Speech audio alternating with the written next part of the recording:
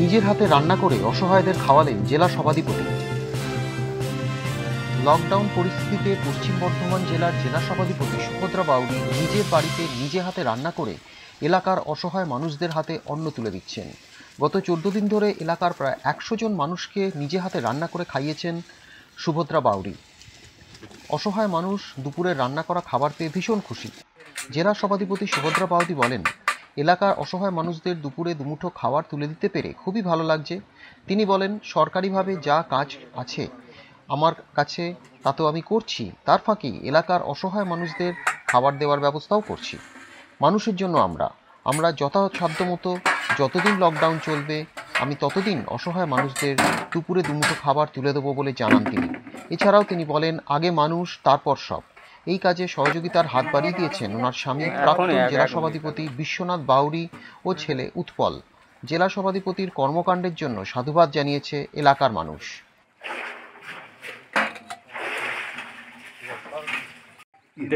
দেখছি এখানে মাননীয়া সভাধিপতি নিজের হাতে রান্না করে দুস্থদের মুখে অন্ন তুলে দিচ্ছেন। এই চিন্তাধারাটা এলো কীভাবে? চিন্তাধারাটা এলো অ্যাকচুয়ালি সভাধিপতি নিজে একজন মহিলা এবং উনি রান্না করতে ভালোবাসেন, ভালোভাবে রান্না করেন। এখন এই সময়ে আমরা দেখেছি যে যদি মানুষকে একটু রান্না করে, যদি মানুষের হাতে মুখে তুলে দেওয়া যায় তাহলে মানুষও তার খুশি হবে। কারণ আমাদের সরকার বিভিন্নভাবে মানুষ সাহায্য করেছেন। চাল, ডাল দেওয়া হচ্ছে। আমাদের জনপ্রতিনিধি যারা, তারাও চাল, ডাল, তেল, নুন, মশলা অনেক কিছু দিচ্ছেন।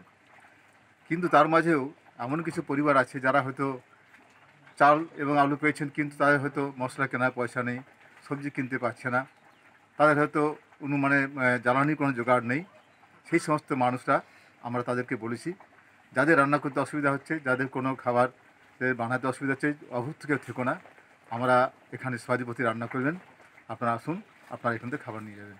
সেইটাকেই লক্ষ্য রেখে সভাধিপতি নিজেই হাতি রান্না করে করছেন।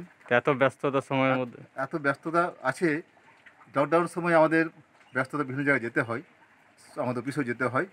কিন্তু এটা একটা বড় কাজ এখন। এই সময় যে কোনো কাজ থাক না কেন মানুষের পাশে দাঁড়ানোই মানে সবচেয়ে বড় কাজ। এই সময় রাজনীতি আমাদের মিটিং মিছিল সবই বন্ধ। অন্য কোনো চিন্তা নয়। মানুষের পাশে থাকা মানুষকে নিয়ে চলা মানুষকে সাহায্য করা এটি মনে হয় আমাদের সবাই ব্রত হওয়া দরকার। এই লক্ষ্য রেখে সভাপতি এটা করছেন। আসানসোল থেকে সৌমিত্র গাঙ্গুলি টাইমস বাংলা।